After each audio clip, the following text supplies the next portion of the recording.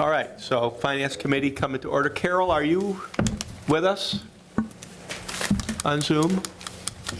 Let's see, Carol.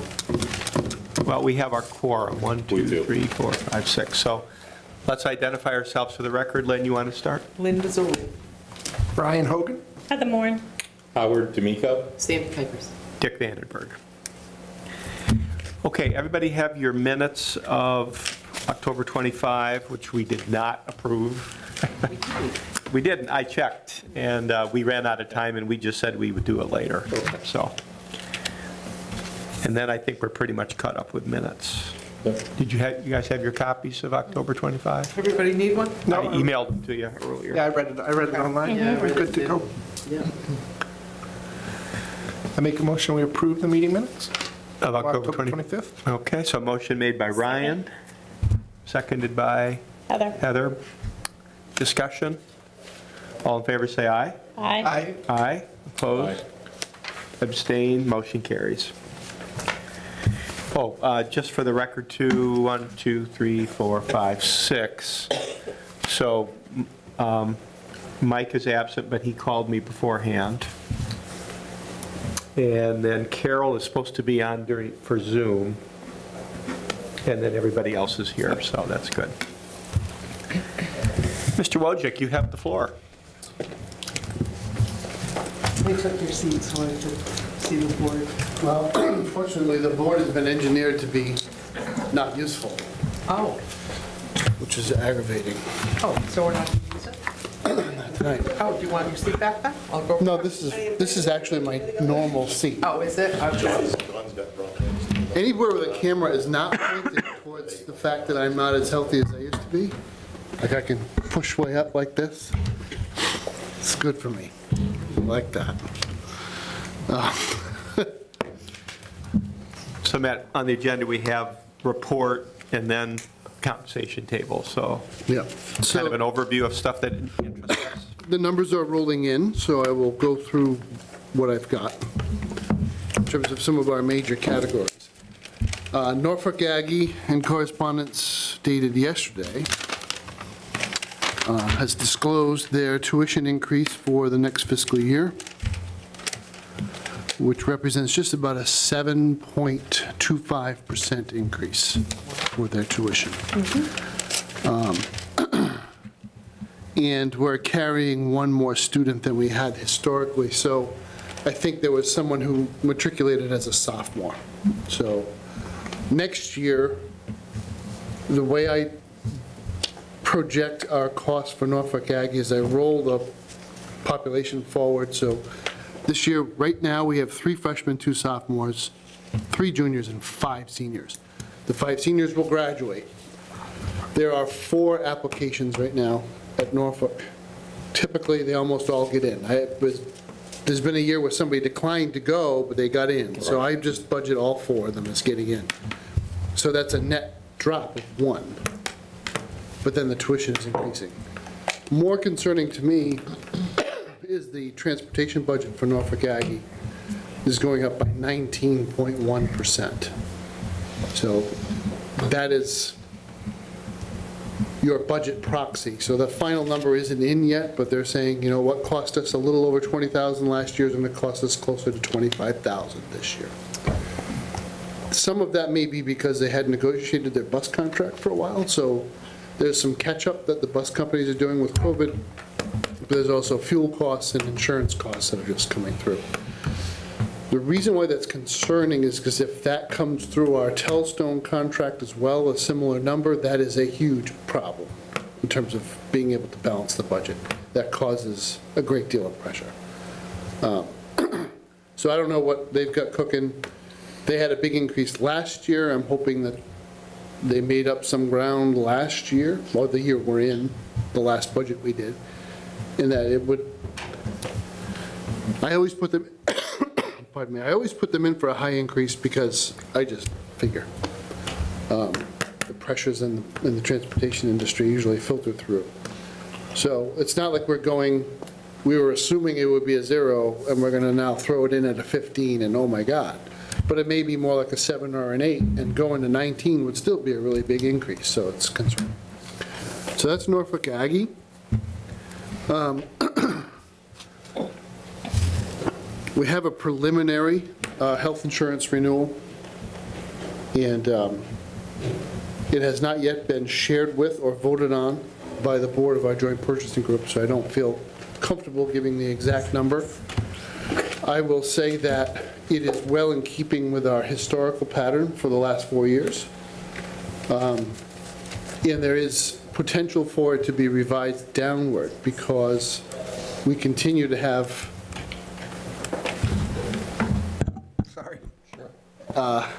excellent uh, claims experience numbers through the month of January. So if our current trend were to hold, I would be comfortable, I think the- our board would be comfortable maybe taking a point off our renewal, a percentage point, which would take us slightly below our historical average. If you know what our historical average is, you know what I'm saying exactly.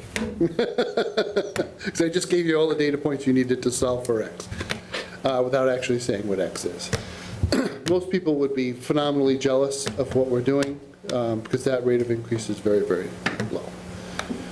Um, We now have a fair amount of historical data behind what we're doing. So I think the thing that makes everybody's eyes pop out of their head is our trend as a group. So our overall health costs of our group, year over year, our trend is 4%, which is insane. Market's seeing 8%, 10%, but we're, we're beating it by half, which is considerable. Fantastic. So, we continue to be optimistic about the group. The pressure this year, we'll have pressure in two directions. One is, I think I've already mentioned this to you, but our reinsurance rates, our stop-loss rates will be up. That is about 6% of the total cost of the group. So there'll be some pressure there that'll offset the positives of what we've been doing. Um, Offsetting that is cost reduction. So we have a number of programs that address acute illness, chronic illness, and our approach to carving out specialty pharmaceuticals and other pharmaceuticals and moving them into more efficient delivery programs, um, generating large surplus for the, in the form of rebates. We are, this doesn't affect Douglas, but I will say this much. One of the conditions of joining our group is to migrate all retirees who are not on the town's, a town's Medicare-supported supplemental program. So they would go from a fully, a, a, a family plan, for instance, and they are being told you have to migrate to Medicare, and the group will pay your Part B penalties and any other Part B premiums. This just makes so much sense. Uh, There's one neighboring community next to, to Douglas where we've saved close to $357,000 in one year by migrating their elder population all onto Medicare supplement, uh, Medicare Advantage program. So we continue to demonstrate the value. Um, Pardon me. So that's health insurance. The other upward pressure for us is our census. So more people are taking the town's benefit uh, compared to historical levels. So we always over budget the census. So we, we say, well, this is our census right now, but we're going to budget for additional family plans and individual plans just in case we have some new employees or some people switch over to our plan. So we are usually five or six plans over our estimated census. Right now, we have 179 actives. We budgeted for 178. Uh, On the retiree side, we budgeted for 112, we actually have 116. So we're just a little bit above that, I think, for this year. So next year, our- uh, we'll have to revise our model upwards as well for next year. So there's an impact of that. Um, So that's most of our fixed costs. We're going to be talking to our property and casualty carrier tomorrow for one of about four meetings in a row where they will offer a number of excuses for why they can't give us any idea what our renewal is going to be. So the annual dance with MIIA, I think last year they actually gave us our renewal after town meeting. It's typical. Yeah. So we will take a stab at what that number is going to be. Um, cautiously optimistic about that number, because as time marches on and big claims get further in the past, they, they are weighted at a lower number in terms of factoring in our experience. Um, That brings us to the topic at hand. Before I pass around the deck, I I'm sorry. don't know what, maybe I'm allergic to Howard's chocolate. Um, Pardon me. In a typical year, which has inspired him to pick up a piece and eat it, I don't have a camera on me. Um, in a typical year, we would prepare, I would prepare at least a detailed personnel budget and get our best estimates on our major fixed costs and BVT and all the things that disrupt our budget. And there would be this trade-off as we go through, and how much am I going to tell my department heads that they can increase their expense budgets versus how much are we going to allocate to the COLA?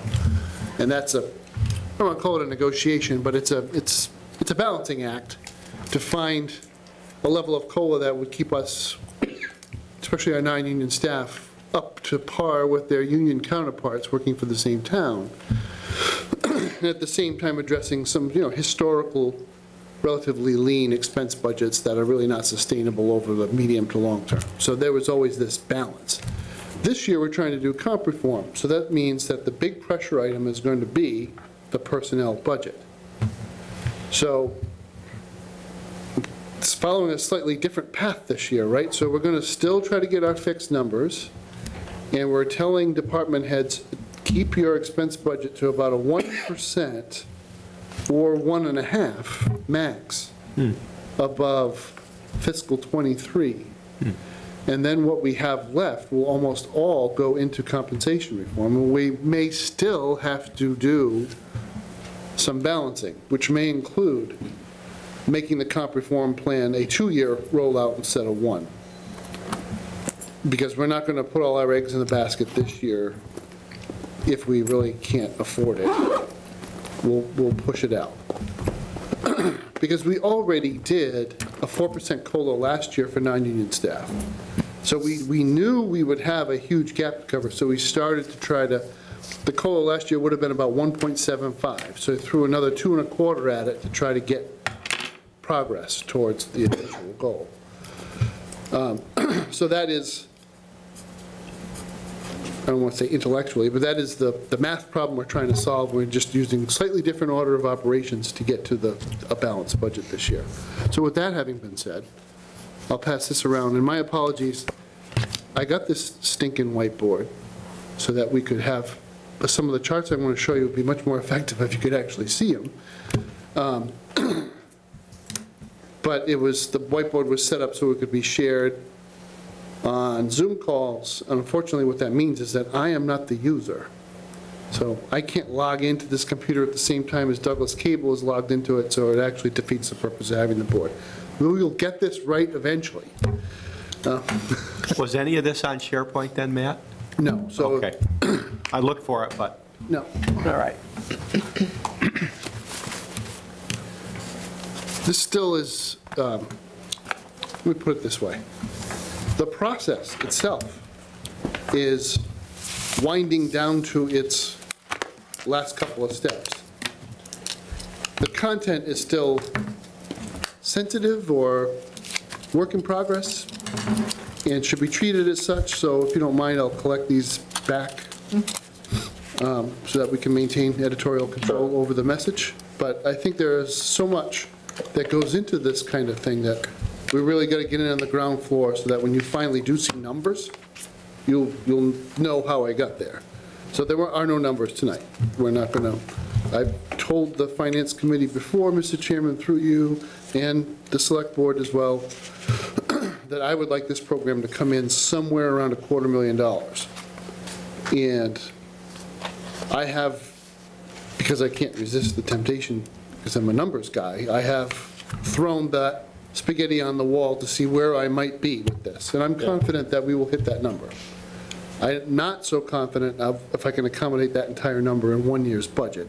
It's a different question. But um, this first slide the first four bullet points here are the major principles that we are trying to adjust to. And the first is that uh, we, we have observations that we have fallen behind many communities in the region and in comparison with towns of similar size across the entire Commonwealth in our rates for compensation for many, but importantly, not all of our positions. And I will show you some examples later in this discussion of both cases. One of the things that has happened is that we have had some retirements and one departure from staff. So we've replaced people in the last two years, and we had to advertise and then negotiate with successful candidates salaries. Those people are going to be much more competitive than those folks who've worked for Douglas for a long time and have not had their position advertised. One of the big oopsie-doopsie guffaws that we don't want to repeat is having someone who has been extremely faithful to the town and really served us well retire. Then we post their position at a salary that's actually pretty much the same what they were earning after 15, 20 years with the town of Douglas. Mm. And then have the new candidate come and say, you got to give me a five grand kicker, I'm not coming. And now you're 10, 15% above the person who was just here doing a wo- a wonderful job. That will not be sustainable over time. People will eventually get discouraged. And I'm sure there are those who are discouraged now. When I presented this to staff, I had one person say, this is long overdue, this is where we need to be. And I got the feeling from the reaction in the room that he was speaking for everyone. Um, At the same time, we can't afford to be leaders here. That that is not Douglas. We're not price leaders at all. Uh, We're price takers in the market. And so the goal would be not to try to overshoot, and nor should we try to be at the very bottom, because that will only mean that the problem will repeat itself in a couple of years, and all this effort will be for naught. So I'm thinking that if we are at the top of the bottom third, we have achieved a sustainable position, because then what we can do going forward is use our COLA policy to better keep up with competition in the marketplace. And um, I think there's a there there to that, and obviously we'll, we'll model that out mathematically to be sure that we're right about that. But um, the benchmarking process is not a perfect science. We're not going to get 100 examples and have 100 data points of towns just like Douglas, because we're all very different. Every municipality, job description is slightly different. Community might be more or less wealthy than Douglas, maybe experiencing more or less growth, and you're going to use a certain amount of artistic interpretation to see where we should be. And um, that is the, probably the biggest part of the lift here, is that there is some art involved, and what are the sources of data? The MMA has a website where positions are posted. It's a busy website, there's a lot of towns hiring, so finding analogous communities to us that are recruiting is not that hard. Some positions are more commonly advertised than others. Um, But that is a primary source to see what would anybody looking for employment for a job that we have here in Douglas be expected to be paid if they were successful. And to put brass tacks, what would an existing employee of Douglas think they might get for a raise if they were to leave us? Right. So that's, that's probably the most important part of the benchmarking effort. Um, We will use some recent postings from other communities, even if they're not a lot like us, because it can help establish upper and lower bounds. So uh, I don't expect we'll ever be competitive with Dover or Hull or any other community that's got oceanfront property and might still be fairly isolated, have a hard time recruiting, because that's, that, the double whammy, you see a lot of Cape towns, you see their salaries are high. Because who wants to make that long commute? And yet the property value is, is high, so the tax base is strong, and they're able to, to increase their revenue every year. We can still use those as upper and lower bounds. So on the lower side, you're going to have a lot of Worcester County towns, perhaps to the west and north of Worcester, that are about the same size as us, have a similar sized budget, and yet there are fewer job opportunities. So people are, are going to be more willing, and there's a long drive, as you can imagine, to Ashburnham, it's a different kind of commute than to Douglas. Um, I think I'm pretty much Matt, through that. Go Can I ahead. ask you on Sure. that point? So do you have an idea of what you perceive to be kind of a geographical circle? 30 miles, 40 miles, 50 miles, where 80 to 90% of both applicants and new hires come from, and also where current people might leave to go to? Yeah, so that is going to be, Mr. Chairman, if I may, the, the bulk of our comparison set. So even though Uxbridge may be 75% bigger than us in terms of population, it's right next door. So that's a, that, that has to be in the comparison set. Sutton, Oxford. I don't know about Webster, because I think there are some differences. Um, Then you look a little bit in either direction, so you're going to look at, you know, maybe Monson's pretty far away, but it's very similar to us. You might go as far over Hopdale, Hop, uh, Hopedale, not Hopdale, because I was about to say Hopkinton. So Hopkinton, Hopedale, um, and communities of that size. I'm not obviously ever going to look at Rhode Island because totally different, right? They're- They participate in social security, they set wages accordingly, there's a whole bunch of differences. Same with Connecticut? Same with Connecticut, It- it's going to be, it- and and the communities that are relatively close to us are not really Okay. good comparisons. Okay.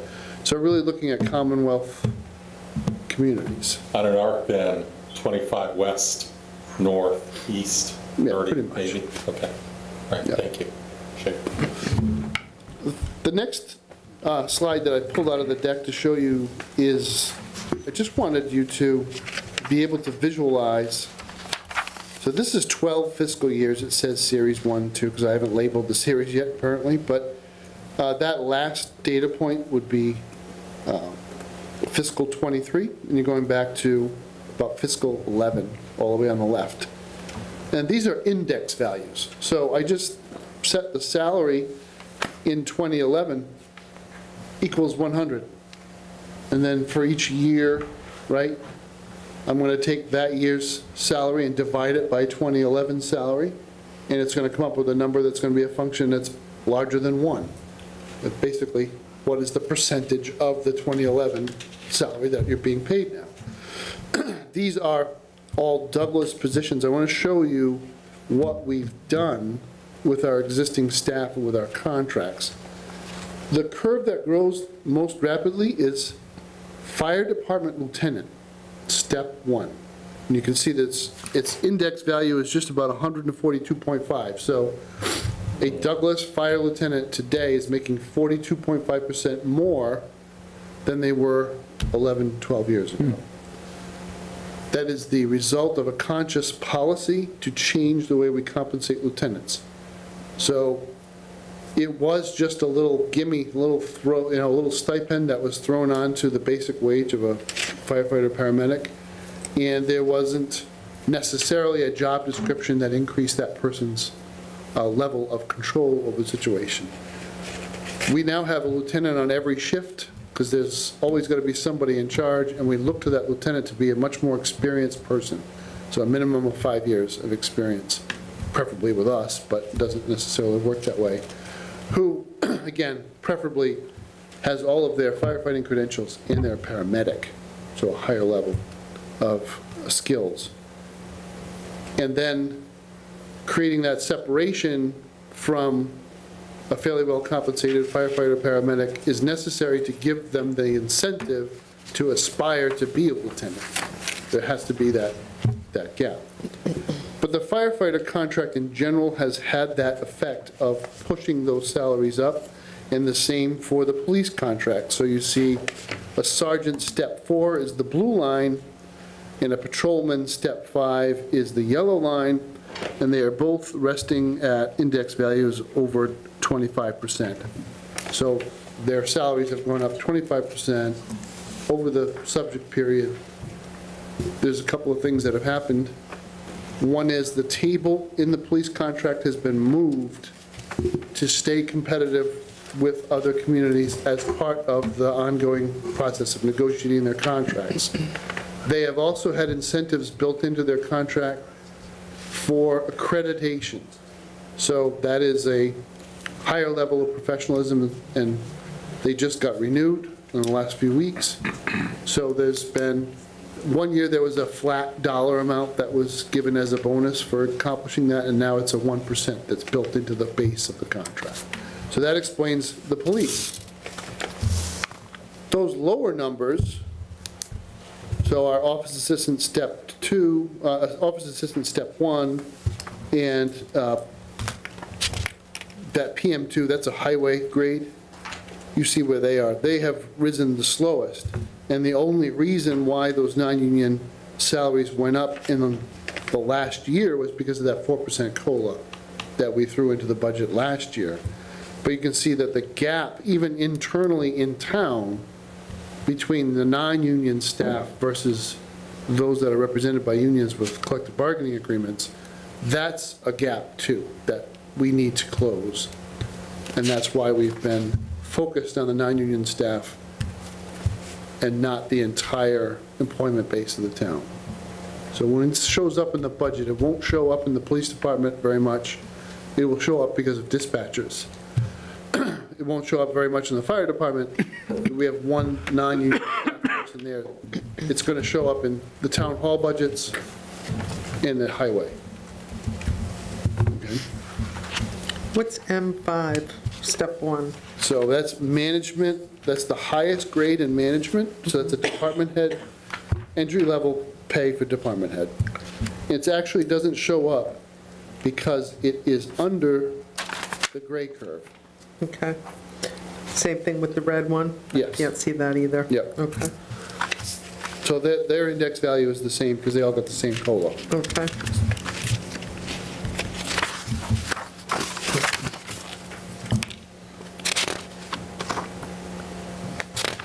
Um, so the process.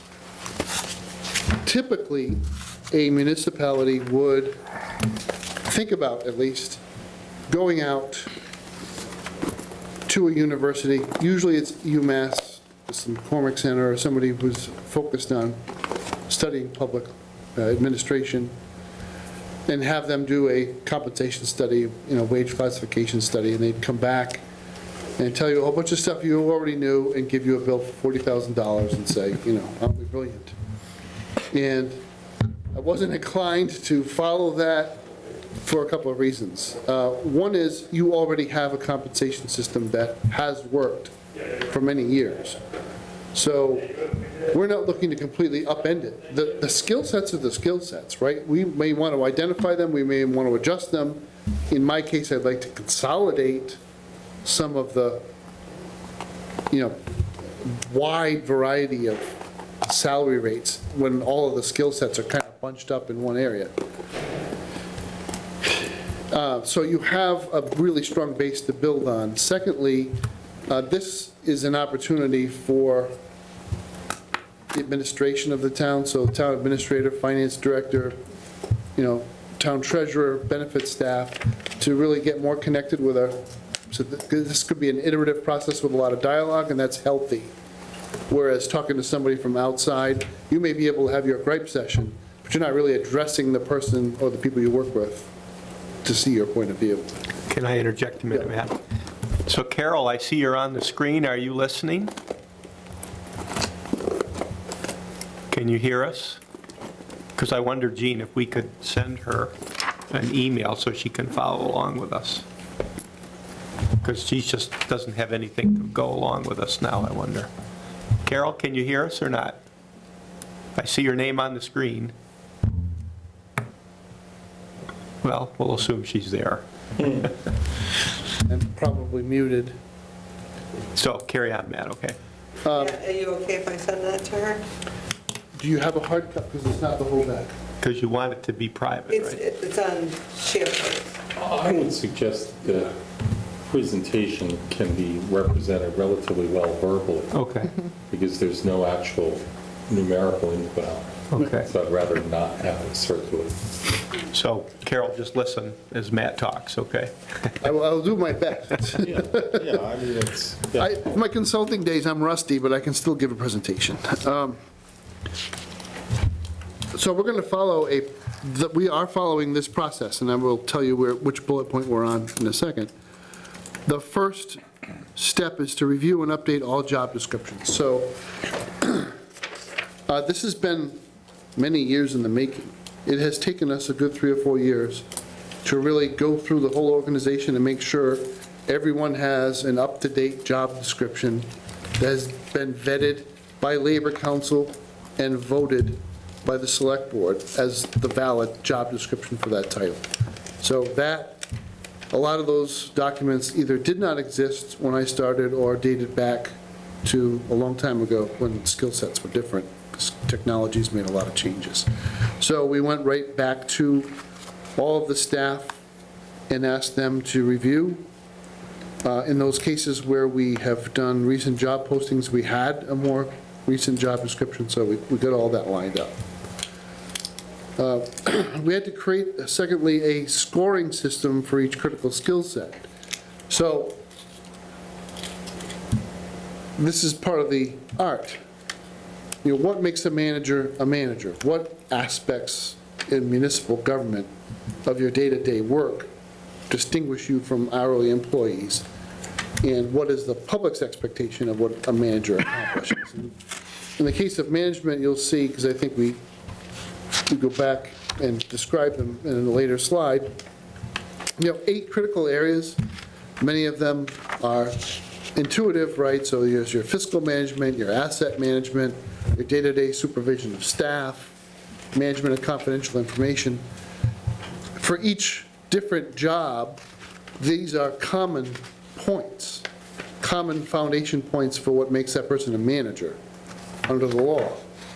But some people will have demonstrated those skills at a much higher level than others. It stands the test of reason if I'm managing a team of six or seven people every day, especially if it's manual labor and we're gonna move supplies and equipment and have everything all set up. That's very different management burden than somebody who's managing one or two people or nobody at all. Um, And these gradations need to be both meaningful and actionable. You, you need to be able to say to someone, your rate of compensation will be X because there are a number of things that you demonstrably don't have to do every day. It has to be, and survive the test of reason. The other trick to this, if you will, is determining, okay, so generically, what is the most important set of skills for any management level employee to have in the municipal government setting? And because we don't want to overweight or equally weight some aspects of these jobs that almost everybody shares in common or which don't really drive a huge difference. So, yeah, management of confidential information is one example. Many of us have access to statutory protected information.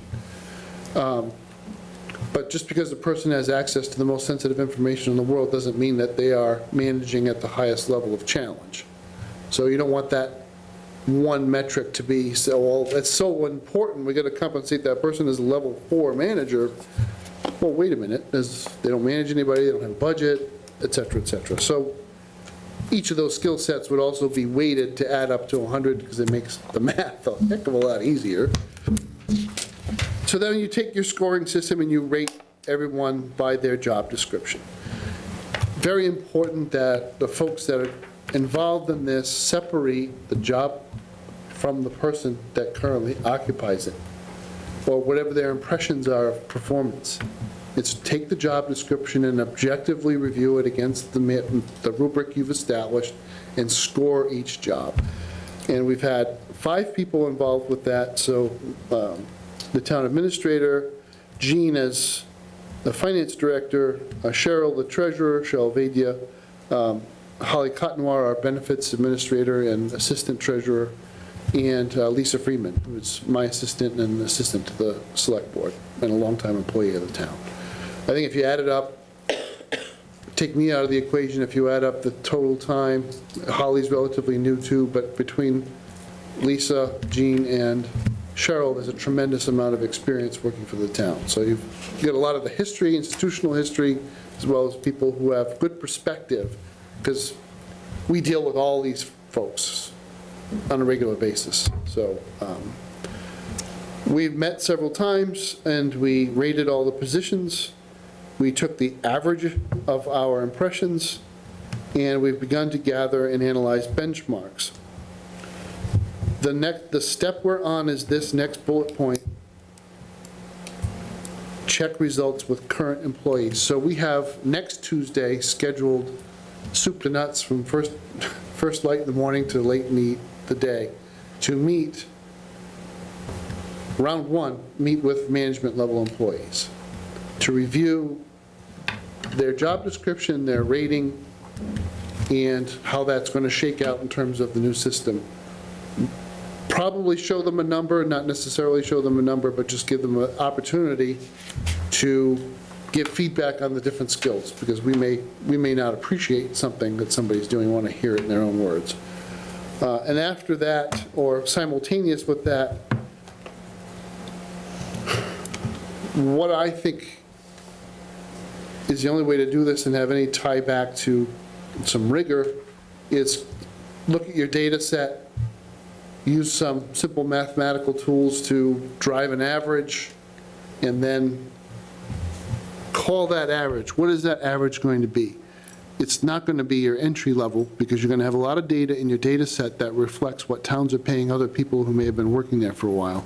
So we're going to call it, say, step five, right? And then we'll reason back using our table to what the entry level for that grade would be and hope to set that at the top of the bottom third of the set. All right, so that that sounds complicated, but really, that's like two moves in a spreadsheet. I'm going to take all the information, I'm going to add, I'm going to come up with an average.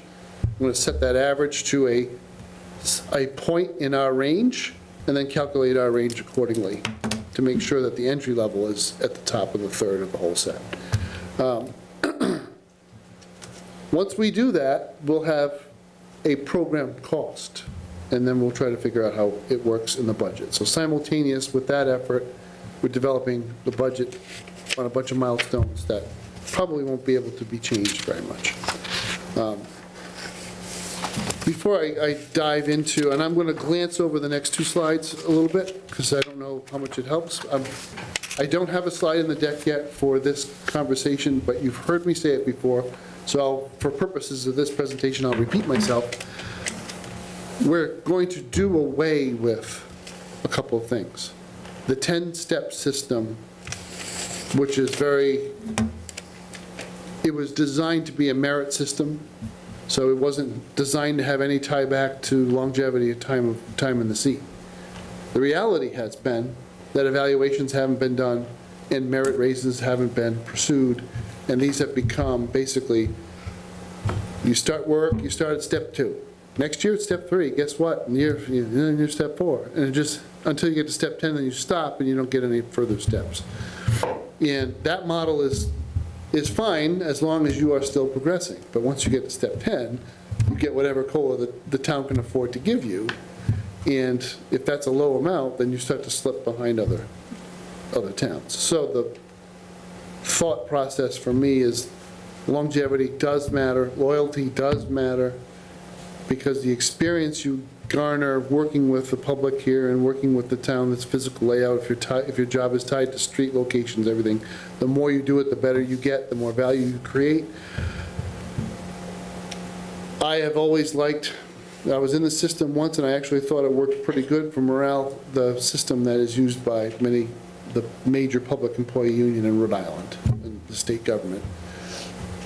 You, you start off at a probationary wage, so you, you don't even make step one, you make about 95% of step one for the first six months. You go through the tryout. Most managers don't really put you through your paces.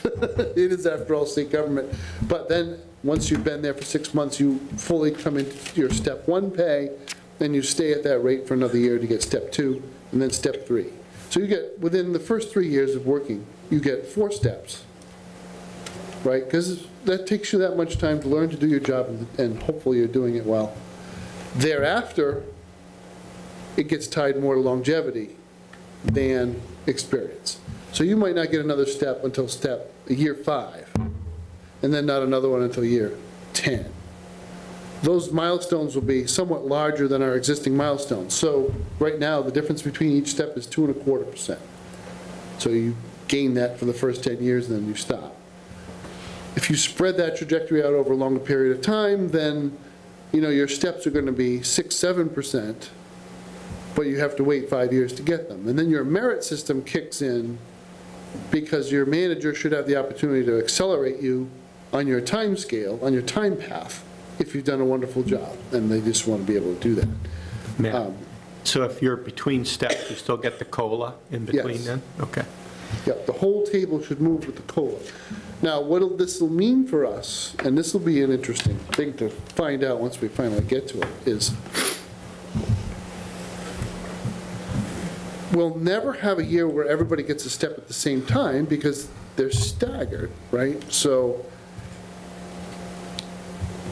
the, our, the pressure on our personnel budget would occur if we have a whole bunch of new employees starting at the same time. So for their first two or three steps, the budget will reflect their progress, and it would be a lot of people making that progress, at 2 or 3% a year each year. But then it would spread out. That gap is where you can make up the difference with COLA, or at least have more policy options with the COLA to keep salaries competitive, using the COLA device rather than waiting for somebody to get into another step. Uh, And I plan on five-year increments up to step 30. To be blunt, if anybody's here for 35 years or more, they're losing money coming to work every day, under current pension rules. So after step 30, you're kind of, you know, you make up your own choices. Uh, But we do have two employees who've been here for more than 30 years, so we have to be cognizant of, of the value added. So I'm just going to run through this as an example. I I do intend to go through it very quickly, so if you have a question, please ask the chair to stop me. But when we rated management positions, day-to-day supervision and span of control was one metric. The administration and execution of discipline is another, and I, we separated this apart because this is a completely different skill set that many people think they're going to have when they get hired to be quote-unquote the boss. They think it means I'm going to tell other people what to do. But the tough part of the job is when they say, no, I don't want to do that, or I'm not going to do it the way you said, and now you have to have that difficult conversation, well, I think you need a couple of days off to think about. And to be honest, look, you need training to do that. You cannot just jump into a role, because today's employment rules are so complex, and we have to be so careful on the way we address people and how we couch these difficult conversations so as to not have it turned back against us, that discipline is a true management skill that deserves. So I- I- if you got somebody who's managing eight, nine, 10 people, and they face the challenge of trying to keep order with that group, that's very different than somebody who doesn't manage anybody else. Not that I've been through this recently or anything. Um, Confidential information, I think we already talked about. Asset management, critical skill set, right? So I suppose it's a pet peeve of any number of town administrators and managers around, and, you know, you get very different levels of engagement and skill around asset management. Some people think, I'm just gonna drive this truck until it breaks down, and then I'll call the repairman, and that's really all I have to do. And that is not good asset management. Asset management is, I've been given a, a million-dollar truck, and I've got to make sure I do my annual inspections and put the oil in, and that is what a responsible manager should be doing. So it needs to be part of our understanding of rating management skills, so. Anybody who's managing a building plus a fleet, plus major components of our IT network, should get a higher rate of pay than somebody who doesn't. Fiscal management speaks for itself, that's the budget, are you turning anything back? How big is your budget, how many different variables are you managing? And the last two, one is interaction with the state, the other is interaction with the public. Hmm. I think interaction with the state is one of the things that, my guess would be the public doesn't understand as well as we do. local government is a creature of the state. It is entirely created by the statutes and the different structures that are put in place for procurement, the wages we pay, for contractors, all, all of those rules are set in place, and many of our enforcement people are enforcing state codes. They're, they're answerable locally, but they are involved with whether it's the state fire code or the building code, electrical, plumbing, you name it. There are people in the state government who you answer to, and those conversations can be less than pleasant. It's a relationship you have to build and manage over time, and it's a skill that uh, any number of people who work here need to have. And then lastly is interaction with the public. We all understand the public is our true boss, and the more intense and frequent that interaction, uh, your your professionalism can be tested. We have all kinds of people running around today. Social media has made it possible to punch somebody in the nose anonymously over and over again, uh, even if it's meritless punching. And uh, there has to be some recognition of the fact that some folks really come to work every day and deal with the public in a much more significant way than others. Um, So we went through all those management positions, rated them all against those metrics, and because I'm a consulting geek, I love histograms. This is a histogram. Each point is a position, and the rating scale is the scale on the left of the, of the slide. And what we're looking for is groups. You know, do the dots all come together in a band? Because those people probably have, on average, the same, a mix of skills that leads them to the same general skill level. And I didn't draw any in the middle because I didn't, not entirely sure exactly how this is going to pan out. We clearly have two positions that have very high levels of responsibility, and that was a consensus opinion amongst everybody who looked at them. We have five, maybe six, I think, because I I have one or two to add to this, uh, that are, they, you know, they're going to be averaging around a level two uh, or two score. That will actually be the M1 management level, because I'm going to consolidate, why do we need five grades of management for crying out loud? We only have like six people, so, at that level of department head. So we're going to try to get M5 down to M4, so four levels. And there's some scatters in the middle, but I think if you follow my eye, there are three positions above level three, and the, about six of them around just a little over two and a half as an average rating. That would be your M2 schedule. All right, so that, that's how that will pan out. That's how those positions will be assigned in the grading system. Being mindful of the fact that once we set the rates, that person's longevity with the town will inform where they are in terms of their actual pay. So let's give an example. Let's say that a certain level of management is going to come out to about 100,000 as a, as a step-in wage.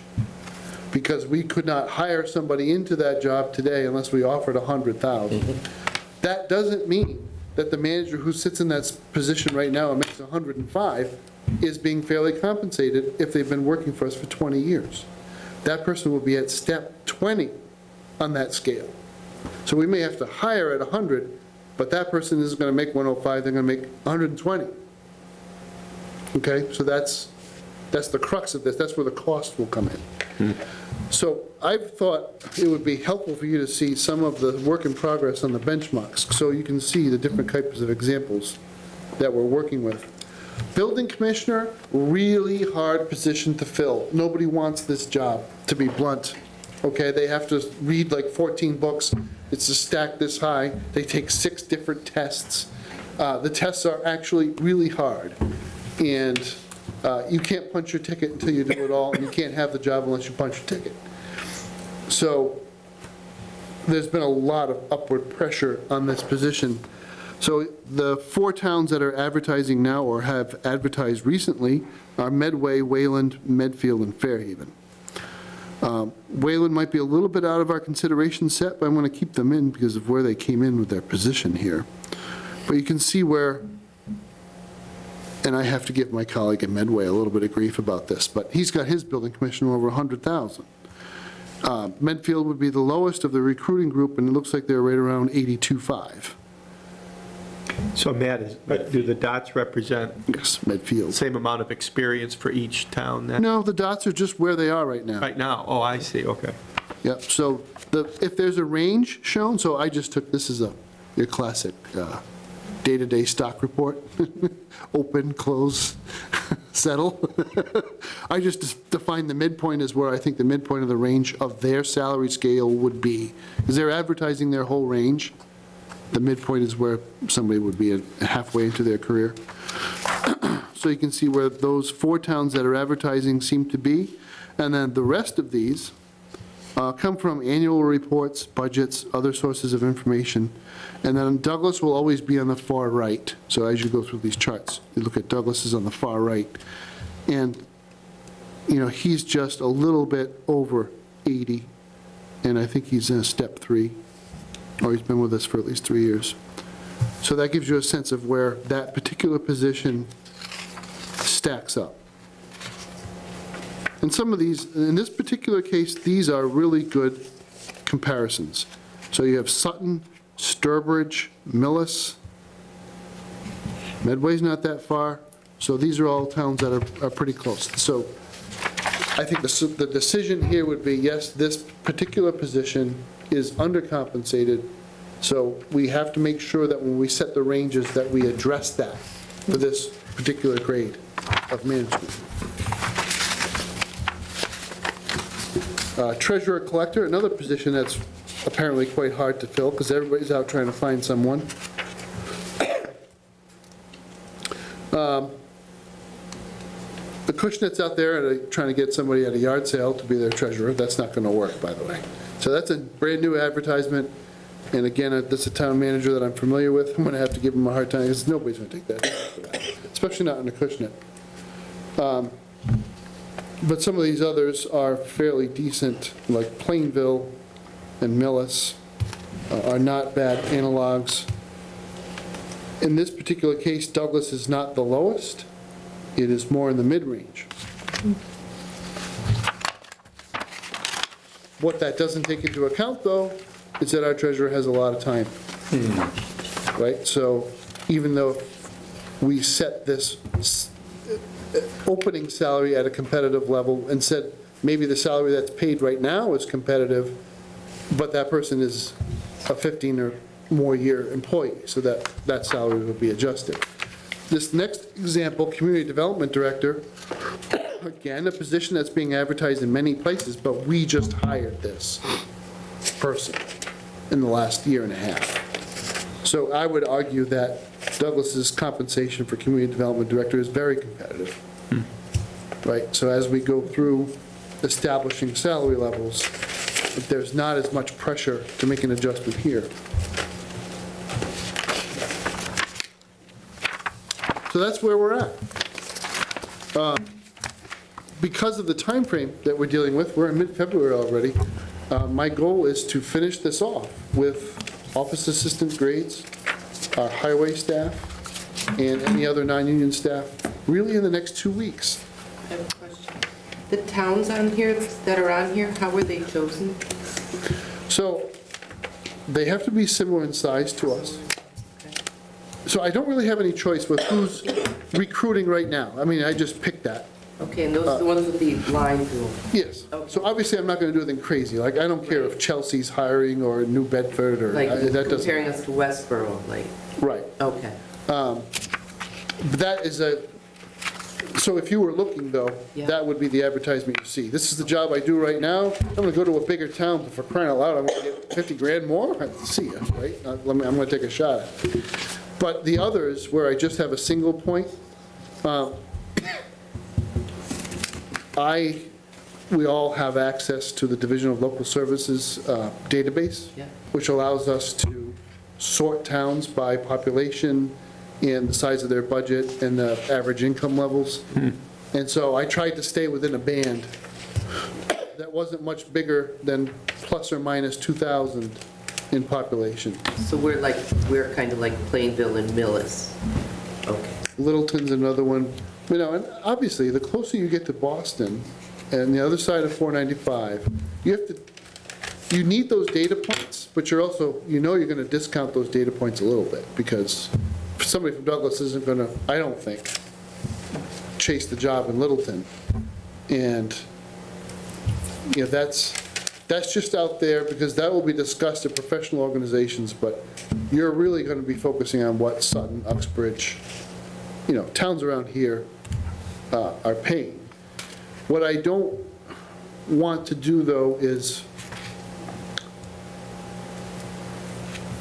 so Leicester is in the consideration set, so Leicester typically doesn't pay as aggressively as many other towns. Okay. Uh, Frankly, some positions Sutton does, some positions Sutton doesn't. Um, Uxbridge tends to be, you know, playing catch-up, just like Douglas is. So you're, you're capturing all that. If you do too many rural Worcester County towns, yeah, I don't think you're gonna get a good set, because that's really not what we're competing against. It really isn't. We might hire somebody from there, but it's highly unlikely that somebody from here is gonna go. But you didn't use like the same towns each, for each, No, because in some cases, they either don't have a position that's analogous to us, okay. or um, there was some problem with the data. So if I looked at an annual report, like if they had a staff transition and a position, they may have hired the new person at a different wage than the old person in it, but they're only showing the budget result, so you're not really, I don't have enough information to solve the problem. How many months did that guy work versus this person Right. to know what the actual salary is there? Could you uh, do a search by town if you wanted? Like, I want to see what Blackstone is? I You Yep. could be that specific if you wanted to. Yeah, and then, of course, it's how do you get the information? So I, I had the tendency to favor towns that had an annual town report like Douglas's, where we put the salary, everybody's salary in it. Yeah. If I had to adjust it for their COLA, I would just adjust it. That's why you see the word, the, the abbreviation estimated, because in some cases, uh, I got annual reports that are two years old. Right. But that doesn't mean I can't use the number, I'm just going to inflate it by a 2% COLA each year and, and use a number. And what website do you find this, this at? So the Division of Local Services, which is part of the Department of Revenue. By the way, for a finance committee, it's a fantastic website. They have done a lot in the last three years. You can pull up all kinds of comparative data for any town you want to see. Mm-hmm. Free cash, unrestricted reserve balances, uh, um, economically equated value, which is a, a term they use to calculate some of the formula. Uh, Value of the town, you know, the, the value of all the property of the town. Uh, There's just a million ways you can cut and slice the data, and if you, I can, Mr. Chairman, I'll just email everyone the link that Oh, be go to the municipal Great. dashboard, and you can see, you know, uh, What's it called again, though? it's the Division of Local Services, and the, I think they're calling it the Municipal Finance Dashboard. Yeah, that would be great, Matt. Mm-hmm. Yeah. It's super helpful because they do time series that we would, that we don't have, we don't track. Mm-hmm. So, you know, it takes a little bit of work sometimes to recreate our history of free cash or some of the other things, and there it's a chart. And they're using the same basis to analyze everybody's data, so they're, they're normalizing it a little bit. Um, I think it's really informative to see our unrestricted fund balance, you know, the change that has occurred over the last five, six years, and um, compare that to other towns that have higher bond ratings than us to see where we might end up. Little things like that. So Matt, in terms of information for us as the, the finance committee, we could log on to SharePoint at some point and just see your spreadsheet of departments and, and dollar amounts and so on. Is the compensation table that you're working on, will that be, will we first see that as we get ready to review the warrant articles? Because it No, will be a it's too warrant. late. So, When, when will we see your results? Will we see them on SharePoint then too, or not? uh, you will. Okay. So, uh, as I, that was the line of conversation, I was going down, and then I stopped and changed direction, in about two weeks. Okay, So if I go on to SharePoint, what will I look for? What will it be it- called? Compensation reform proposal. Okay. And that'll be different than your regular spreadsheet where you It'll put, probably be a PowerPoint deck, and then when you see the budget spreadsheet, you'll actually see those numbers plugged into the compensation. ah, okay, So what I'm doing right now, gotcha, yeah. This is a a slight degree of tedium, but I'm, I have every single year tried to improve the budget spreadsheet that drives our budget compensation. I'm just going to put in a plug here. I don't sign up for these whiz-bang software packages that a lot of towns do, whether it's called ClearGov or OpenGov, and they have this budget program that's written in C++, and you get all kinds of really great graphics. The problem is, is you don't control it. You don't, you can't click on a cell and see what that person's formulas are, what their assumptions are, what it ties back to. So even though it's more work, I continue to use an Excel-based spreadsheet program because I want to be able to run scenarios. I don't want to just look at historical stuff. I want to do a lot of what-ifs. And I want to see the interrelationship between departments more as a systems dynamic than a simple spreadsheet. So I can't unbundle that when I use that fancy stuff. So this year's improvement is I have broken, typically I had everybody enter data into the master budget spreadsheet itself.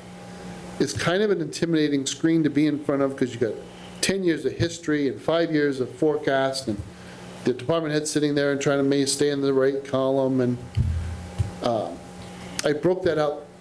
Each department now has two spreadsheets to fill out. One is for compensation, the other is for expenses. And the history is still there and the forecast is still there.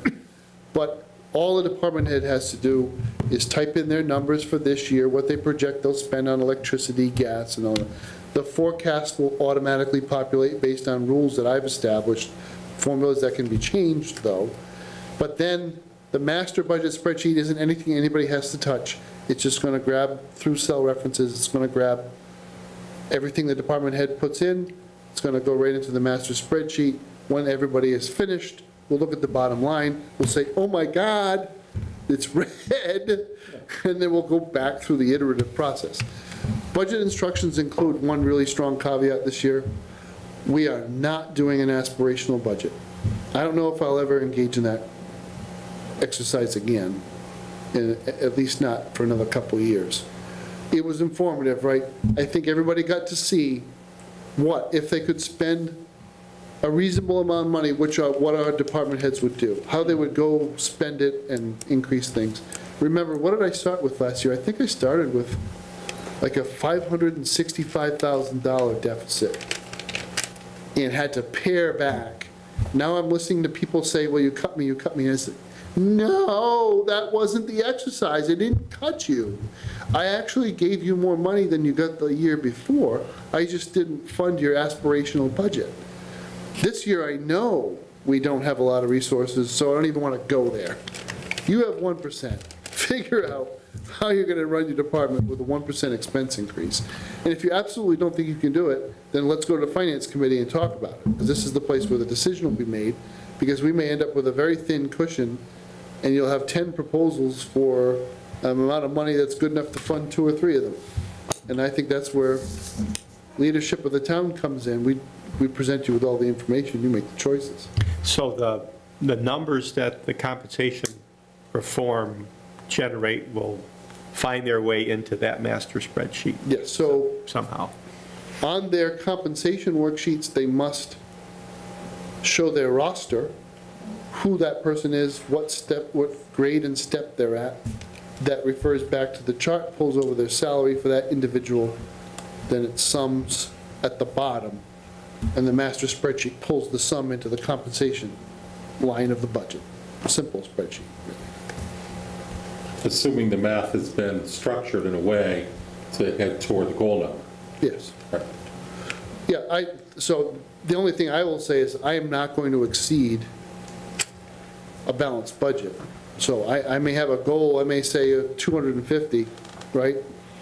But if the budget only is accommodating 135 of it, we're gonna have to look, and town meeting can't bind a future town meeting. It, that's the, that would be the hard part about spreading it over two years, is that employees would have to go on faith. Having said that, they got a 4% last year, well, actually, they got longevity one year, a 4% the next year, comp reform part one, comp reform part two. That's the only way Douglas can afford to do it, and that's how we have to do it. But the goal, the commitment to make it better is still there, and I think it's palpable. Matt, what's the number for FY '24 at the moment of folks that fit into this compensation table reform? But How many people are likely to benefit? You know, how many people actually are in the table? How many positions? Paul? I'm gonna count dots for a second.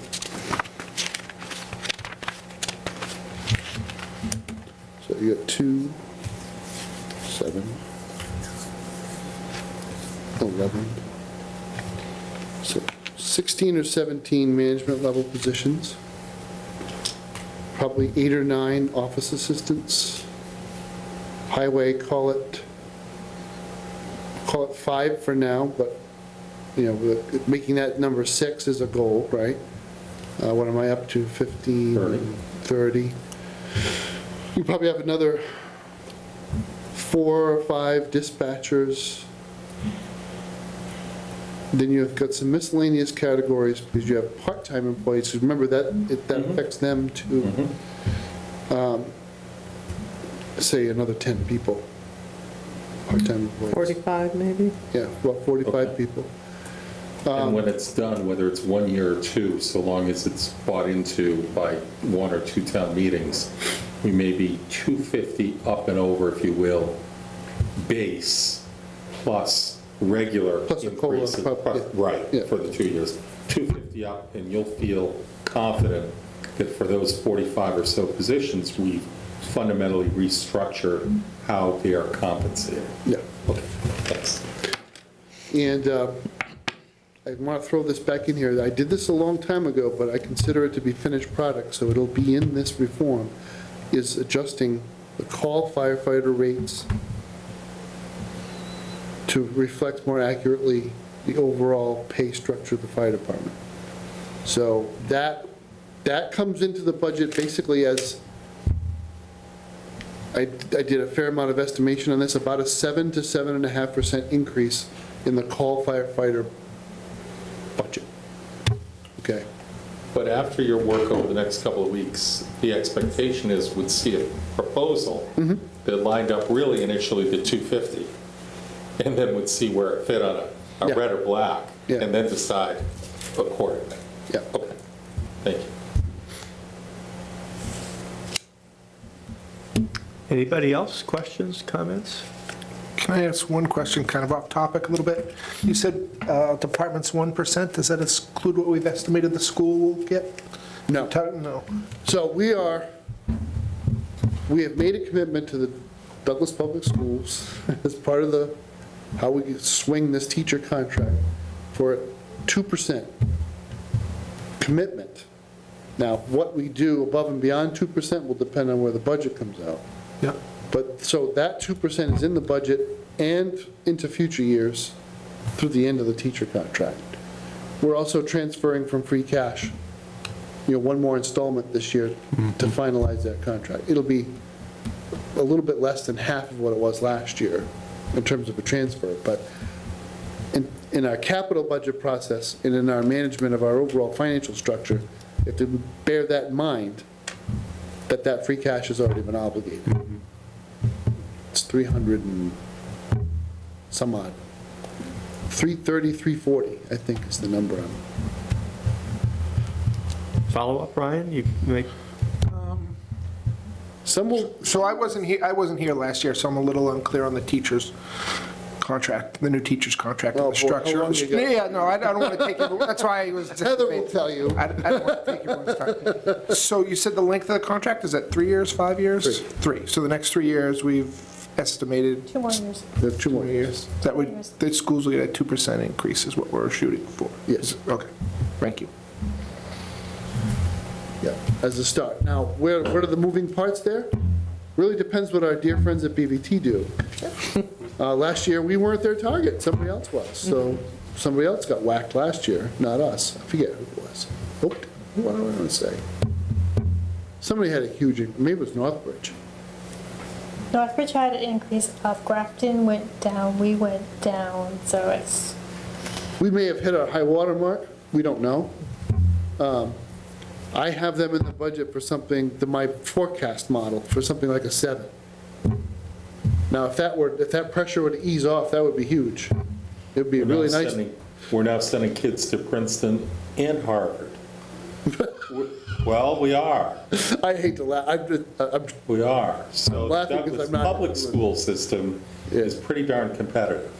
oh, I thought you were saying BVT. No. That's why I no, laughed. Douglas Public Because School the System. Voc Tech schools send the has- kids to Harvard. We've got a kid at Harvard, we've got a kid at Princeton. Yeah. In the last two graduating classes, so you can come. None of that matters. into We've the got two Douglas kids in Public School Georgetown in the system. last five years. That's, Douglas Public School System, you can go anywhere you want. yeah, exactly. And so that's what our seventh and eighth grade program should be, should be pitching.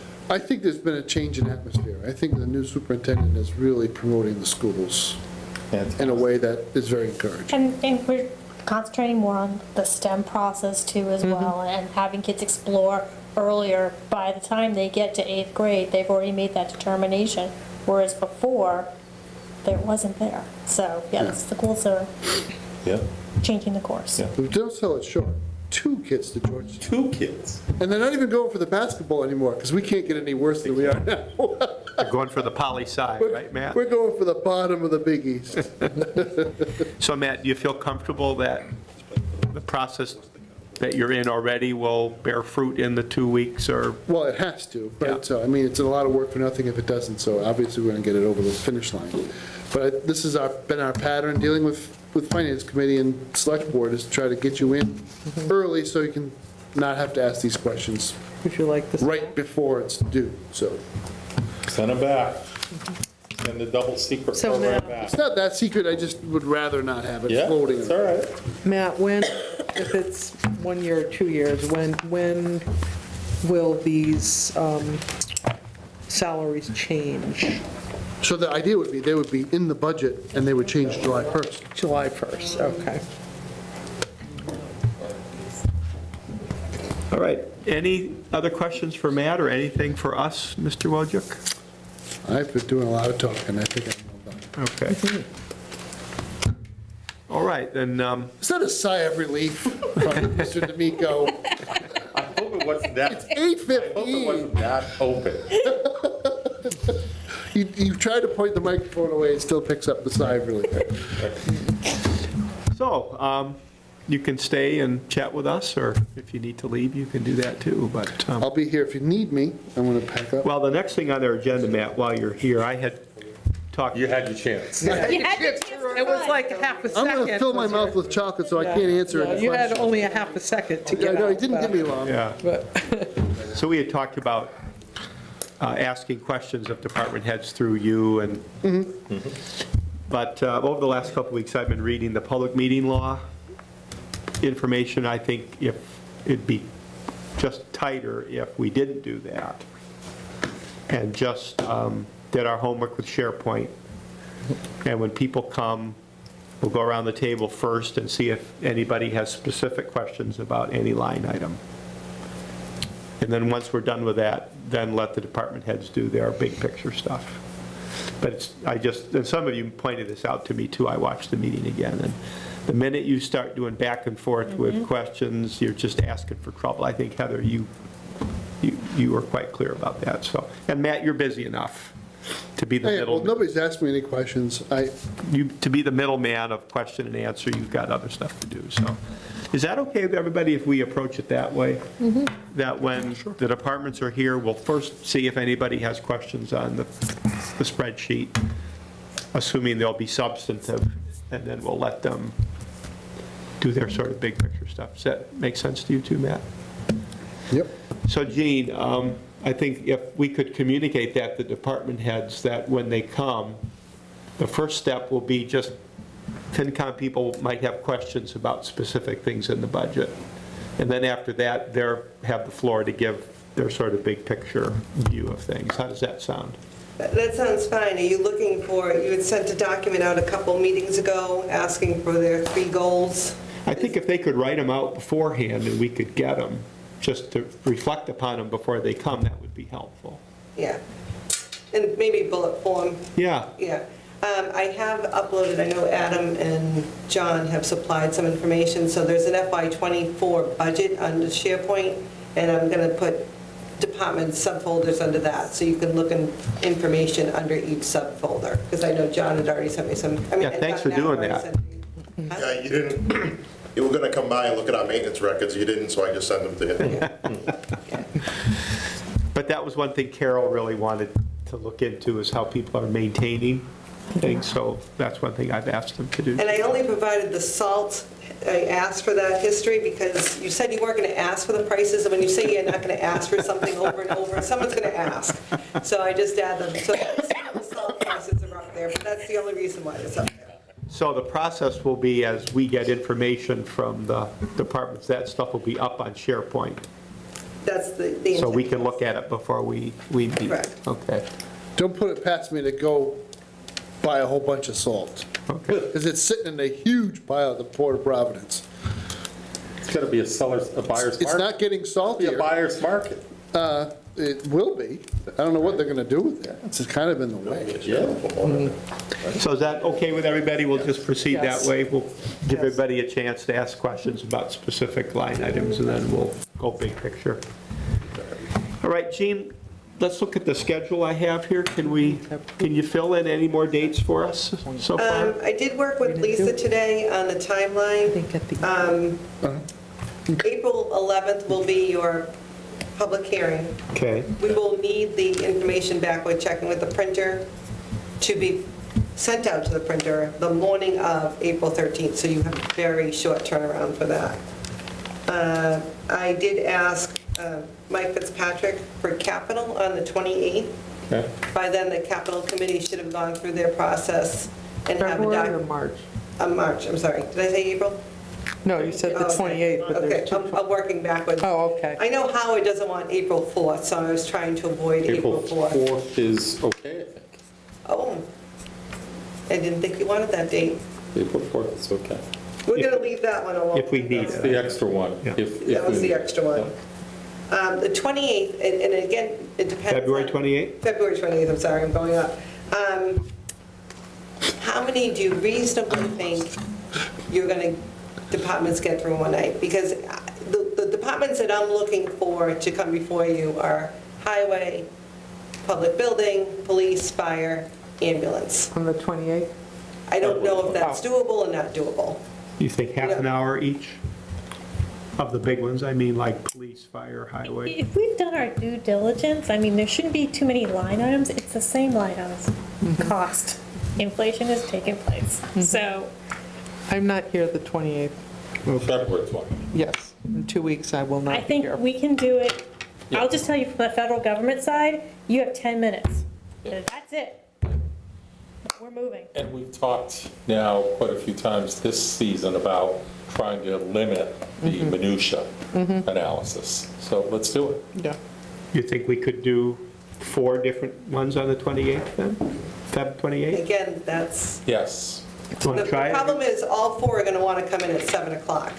So That's highway, not police, Well, they can't all Fire. come in at seven, so. public works. And they're all early, early, Building, early morning starts, so, so that would be, that, that- Adam's the one here, he can go first. yes. You can skip me, we can do it right now. Oh, you wouldn't come without John. Oh, Um, So oh. it would be public building, it would be highway, police, fire, Yep. ambulance. Yeah. And we're going to try to just be as efficient as we can. Will we need to meet on March 21 then, Gene? Keep the clock. Well, that depends, so my thought process, March 28th would be capital and the special articles on the town meeting as a first run-through. Okay. Um, The question is, do you want to meet with Council on Aging, Library, um, those smaller departments that really aren't going to have a huge change in their budget other than the comp? You, do you want, not that I want to shortchange them, but you will have your opportunity to have them here at the public hearing as well on the April 11th. But that's a decision, you don't have to make it tonight. um, whether or not you want to meet with those smaller departments. I would just advocate that I would like them to come forth, and again, if we do a 10-minute, we can shoot them through within an an hour. I would advocate that it may behoove us as a committee to listen to their requirements, because 1% for some of them, depending on what's going on, I think due diligence, you know. March 21 then, Heather? Sure. I agree. I, I think it's useful to have each committee, frankly, for both us to learn and them to feel uh, Included. respected. Seen, yes. And and Yep. that their piece is a significant piece of the town budget and event. So then on the 21st, I'll request Council on Aging, Library, um, Community Development, Board of Health, and I think Board of Health is Monitor Wells, landfill maintenance, Mhm. Yep. Board of Health, nurse, transfer station. Like, I think that will fill your meeting. And then the 28th, we can do capital. You can do your special articles as a first run-through. And then if you want water sewer in here. Okay. Yeah, I think we should do water sewer with all the projects they've been doing. And that, if we run that, might leave us not needing April 4. No, what day of the police and, Matt, do you have a 28. feeling how many articles will be on the warrant? We talking 10 or 40 or? Usually like 15, 14, Well, the 13. request for articles has, is going out now, and they have a couple weeks to get those in. Okay. I don't think we have much of an appetite to boil the ocean, though. So some things that have been on before may not recur. Okay. They weren't approved the first time through. Not real excited about bringing them in. I, I haven't seen enough process to militate that they get another shot at it. Right. What's the deadline that the articles have to be into the office? More or less? Um, I'll get back to you, and I'll send you an email. Okay. Um, So if we're going to look at them on April 11, our final one, Oh, you'll have, the Board of, Board of Selectmen will have it finalized the week before you, so you'll, you'll have it after the board oh, votes. good, okay. But I think the, the warrant closes in March.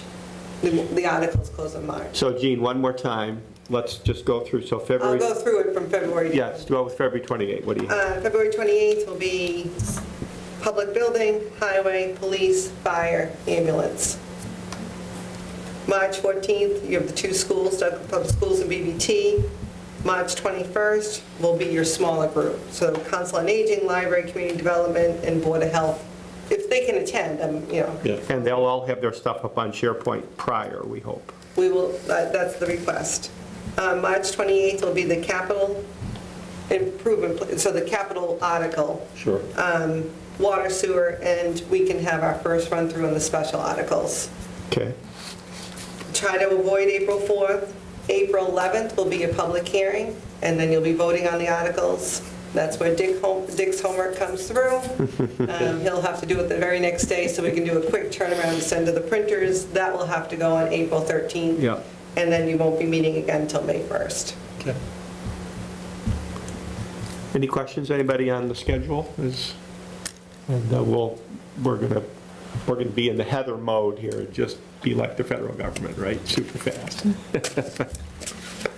All right, uh, any reserve funds One tonight? page Gene? memo, that was my rule. It's more than one page, I'm not reading it. Yeah. Gene, any reserve funds for tonight? Not tonight.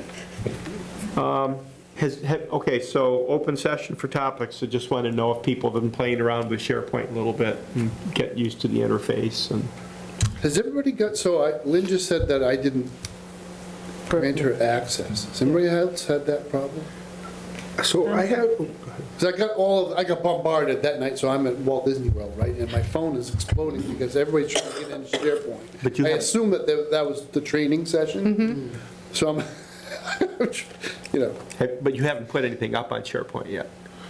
well, this, your whole, your whole last couple of years of work is there, actually. So it's full. There's a lot of stuff on SharePoint. But when I log on, I don't see a new thing that Matt Wojcik put up, though.